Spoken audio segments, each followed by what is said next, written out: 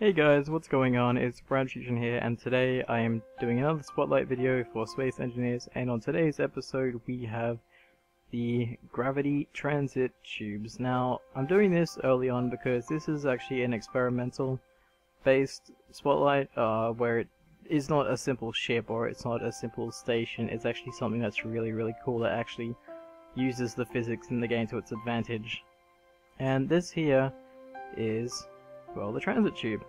Now, the way this works is somebody figured out that if you plant a ton of gravity generators in one spot, it'll generate such a massive field that it'll pull you along very, very fast. So I'm going to demonstrate it here really quickly. This person has put quite a few around the place, which is really, really awesome, and they're all they're all different in length as well. So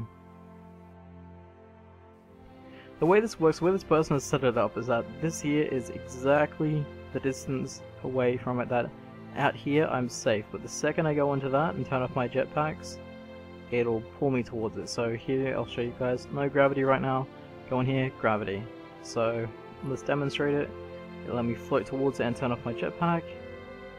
Oh, turn off, yeah, there we go. And he made it so it slows you down just in time as well.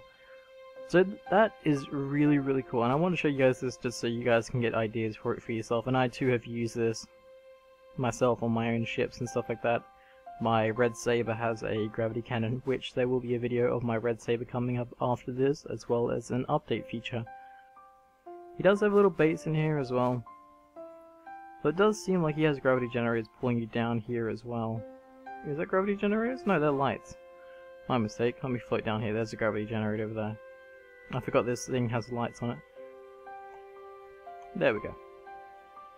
I'm not entirely sure why this is here. I'm guessing this is maybe a landing station. But, like I said, this is simply... Uh, well, I'm going to call his creation a demonstration of what you can do in the game with what's currently here. Oh, crap, I bounced off. Now, every uh, the time I did that before, I actually landed right on here, which is really, really cool.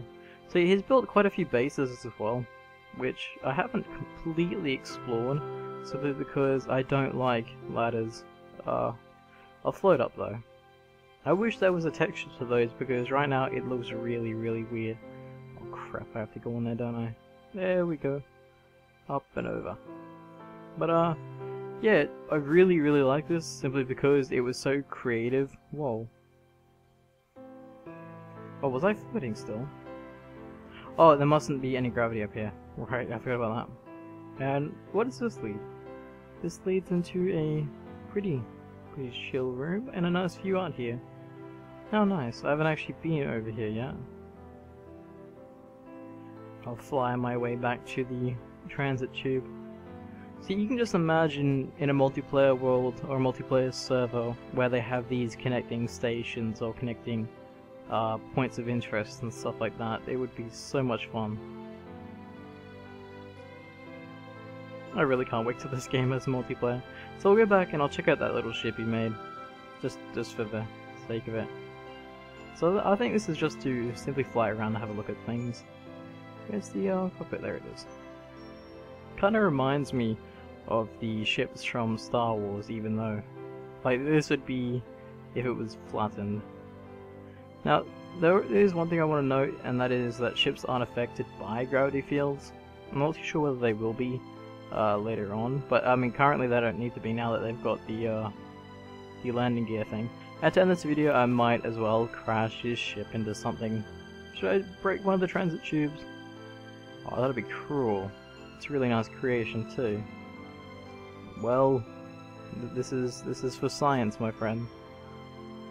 Please, please break. Please, at least let me hit it like right on. I want to be line up perfectly. That was a that was dead on. Uh, we broke that off and there goes the, uh, whoa. Yeah. There we go. Why? What happened to the ship? I think the ship just completely blew. Oh, there it is. There's a little piece of it left floating around. Well, that was the gravity transit tubes. Thank you guys for watching. I'll see you guys later.